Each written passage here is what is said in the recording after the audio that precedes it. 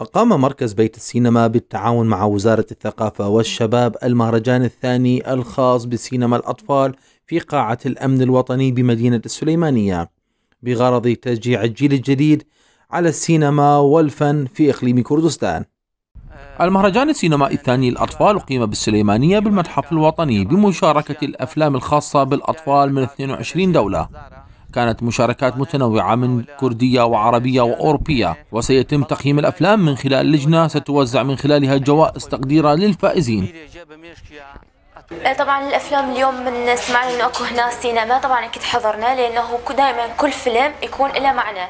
وهاي الأفلام كانت كلش هادفة يعني أشياء اللي عرضوها جدا قوية ونعيشها بحياتنا الواقعية. الأفلام كانت كلش حلوة تحكي عن الوطن العربي وخاصه أقليم كردستان. هواية كانوا أكو أطفال يعني يحكوا عن معاناتهم شلون يعيشون آه شلون الأماكن هم يعيشون شلون يعيشون هاي الواقع يعني حاليا. المهرجان ضم عرضا ل 22 فيلما قصيرا خاصا بالأطفال بالإضافة إلى معرض فني خاص بالأعمال اليدوية.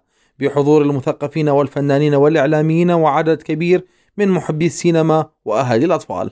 والله اللي أنا أشوفه هسه الدورات مال الثقافة مال وزارة الثقافة آه، مو هالقد يعني ما يهتمون. ما عندهم اهتمام خصوصا بالجيل هاي الأطفال.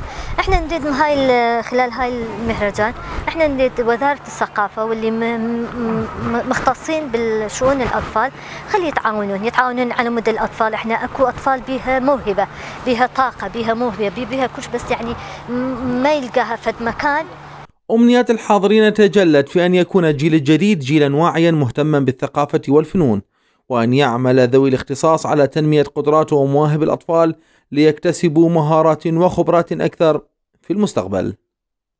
قناة دجلة ليث بن يامين محافظة السليمانية.